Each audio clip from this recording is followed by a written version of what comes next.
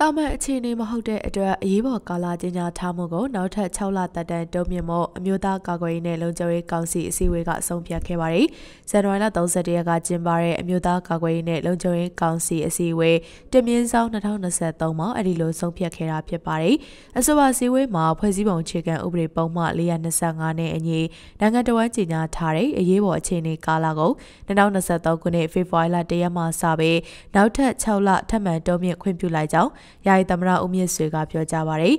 ဒါကြောင့်ဖွဲ့စည်းပုံအခြေခံဥပဒေပုံမှန်419အရနိုင်ငံတော်စီမံအုပ်ချုပ်ရေးကောင်စီဥက္ကဋ္ဌတက်မတော်ကာကွယ်ဦးစီးချုပ်ကိုနိုင်ငံတော်ရဲ့အာဏာရရအားထပ်မံအနှင်းလိုက်ကြောင်းကာလုံအစည်းအဝေးကအဆုံးဖြတ်ခဲ့ပါတယ်။အရေးပေါ်ကာလတက်တန်းတိုးပေးတဲ့ဖွဲ့စည်းပုံအခြေခံဥပဒေပုံမှန်425မှာတက်မတော်ကာကွယ်ဦးစီးချုပ်ကတာဝန်ကိုပြီးစီးအောင်မဆောင်ရွက်နိုင်သေးရင်တာမန်အားဖြင့်6လ2ကြိမ်တက်တန်းတိုးပေးနိုင်ကြောင်းပြဋ္ဌာန်းထားပါတယ်။ထို့တူ ဖွဲ့စည်းပုံအခြေခံဥပဒေပုံမှန်419မှာနိုင်ငံတော်အာဏာကိုတပ်မတော်ကာကွယ်ဦးစီးချုပ်ကကိုယ်တိုင်ဖြစ်စေအဖွဲ့အစည်းတရရနဲ့ဖြစ်စေလွှဲအပ်ကျင့်သုံးနိုင်ကြောင်းပြဋ္ဌာန်းထားပါတယ်။အဆိုပါကာလုံအစည်းအဝေးမှာတပ်မတော်ကာကွယ်ဦးစီးချုပ်ကနိုင်ငံတော်စီမံအုပ်ချုပ်ရေးကောင်စီရဲ့ဆောင်ရွက်ချက်များ2020ရွေးကောက်ပွဲမှာမင်းမတမာမှုဖြစ်စဉ်တွေကိုတာဝန်ရှိသူများကဖြေရှင်းခြင်းမရှိဘဲနိုင်ငံတော်အာဏာကိုအတ္တမနီးနဲ့ရယူဖို့ကြိုးပမ်းမှုတွေကြောင့်နိုင်ငံတော်ဝန်အရေးပေါ်အခြေအနေကြီးညာခဲ့ရတဲ့ဖြစ်စဉ်များ COVID-19 ရောဂါကာကွယ်ရေးကုသရေးနဲ့ကာကွယ်ရေးဆေးထိုးနှံမှုအခြေအနေများနိုင်ငံစီးပွားရေးဖွံ့ဖြိုးတိုးတက်စေရေးနဲ့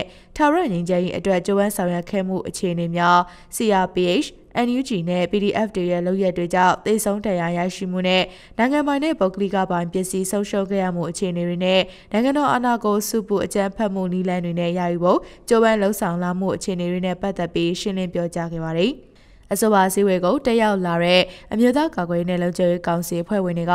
အရေးပေါ်ကာလကြီးညာထားမှုကို6လ2ကြိမ်တက်တက်တုံးမြင့်ပြီးဖြစ်တော်လဲရွေးကောက်ပွဲကျင်းပနိုင်မှုအချိန်လိုအပ်ချက်အခြေခံမဲစင်းများပြုလုပ်ဖို့အချိန်လိုအပ်ချက်နဲ့လုံခြုံရေးအကြောင်းပြချက်စတဲ့အချက်တွေကိုတင်ပြဆွေးနွေးခဲ့ပြီးနောက်ထပ်6လတက်တန်းတုံးမြင့်ပေးဖို့တောင်းဆိုခဲ့ကြပါတယ်။ထို့နောက်ယာယီသမရဦးမြင့်ဆွေကအဆိုပါချက်တွေဟာဆက်လက်ဆောင်ရွက်ရမယ့်လုပ်ငန်းစဉ်တွေဖြစ်တဲ့အတွက်ဖန်တီးပေးရန်လိုအပ်ကြောင်းအခုအစည်းအဝေးကိုတက်လာတဲ့အမျိုးသားကာကွယ်ရေးနဲ့လုံခြုံရေးကောင်စီအဖွဲ့ဝင်အားလုံးရဲ့သဘောတူညီချက်ဆုံးဖြတ်ချက်များအရ၎င်းအခြေခံဥပဒေပုံမှ425နဲ့အညီအခုလိုရေးပေါ်အခြေအနေကြီးညာထားတဲ့ကာလကို2023ခုနှစ်ဖေဖော်ဝါရီလ1ရက်မှနောက်ထပ်6လတိုးမြင့်သတ်မှတ်ကြောင်းဖွဲ့စည်းပုံအခြေခံဥပဒေပုံမှ419ရောက်နိုင်ငံတော်ရေးတာဝန်ရရက်ကုန်နိုင်ငံတော်စီမံအုပ်ချုပ်ရေးကောင်စီဥက္ကဋ္ဌတက်မတော်ကာကွယ်ဦးစီးချုပ်ထံကိုထပ်မံအနှံကြောင်းပြောကြားခဲ့ပါတယ်။အဆိုပါဆုံးဖြတ်ချက်နဲ့ပတ်သက်ပြီးယာယီသမရကဖွဲ့စည်းပုံအခြေခံဥပဒေဆိုင်ရာခုံရုံးကိုသဘောထားတောင်းခံရမှာဖွဲ့စည်းပုံအခြေခံဥပဒေပါဆက်ဆက်စကားရက်တွေကိုထောက်ရှုပြီးလက်ရှိဖြစ်ပေါ်နေတဲ့အခြေအနေဟာတာမန်မဟုတ်တဲ့အခြေအနေဖြစ်တဲ့အတွက်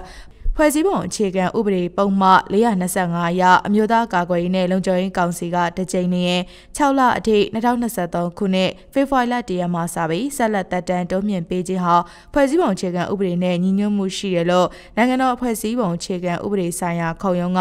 ယာယီသမရထံကိုသဘောထားပြန်ကြားခဲ့ကြောင်းသိရပါတယ်။